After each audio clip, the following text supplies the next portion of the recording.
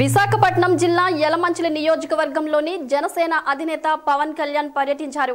పవన్ రాకతో Yalamanchili RTC complex జనసముద్రంగా మారిపోయింది.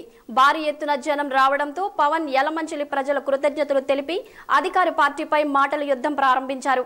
స్థానిక ఎమ్మెల్యే అవినీతి అలవాటు పడి అభివృద్ధి పక్కన పెట్టారని విమర్శించారు. ఇసుకకు అనుమతులు అక్కర్లేద్దా అని ప్రశ్నించారు. తెలుగుదేశం ప్రభుత్వం పూర్తిగా అవినీతి కూరుకుపోయిందని విమర్శించారు. All right.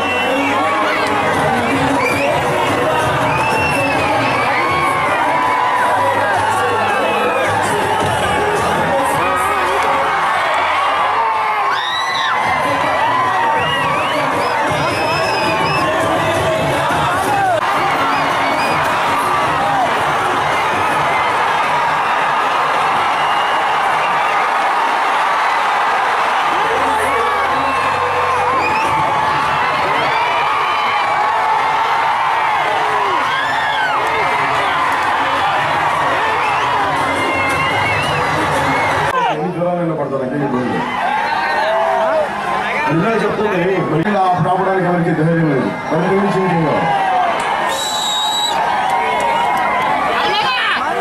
గారికి కూడా తెలుగుదేశం ప్రభుత్వం ఏర్పడి నేను అనుకుంది మన ఎలమంచిలి యువతకి ఉద్యోగ అవకాశాలు కల్పిస్తారని ఆశించాను కానీ ఇల్లీగల్ క్వారీ మీద ఆరు లక్షలు సంపాదిస్తారని రోజుకి ఆరు లక్షలు సంపాదిస్తారని చెప్పి నేను ఆశిస్తే ఆశించి నేను తెలుగుదేశం పార్టీ సపోర్ట్ ఇలాంటివి జరగవు.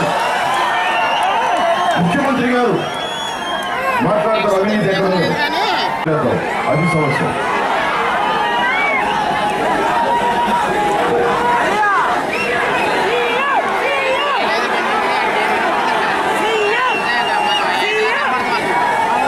అది అదే చెప్తా ఉన్నాను జన సైనికులు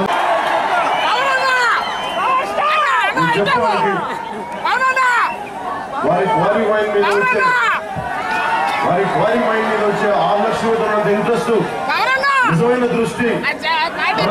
పదిహేను సంవత్సరాలుగా ఒక సంవత్సరం కాదు రెండు సంవత్సరాలు కాదు. చంద్రబాబు గారు వచ్చారు అంతకుముందు రాజశేఖర రెడ్డి గారు వచ్చారు. కాంగ్రెస్ ప్రభుత్వాలు వచ్చినాయి మళ్ళీ తెలుగుదేశం ప్రభుత్వం వచ్చింది. మనందరితో మనందరూ సహాయం చేసి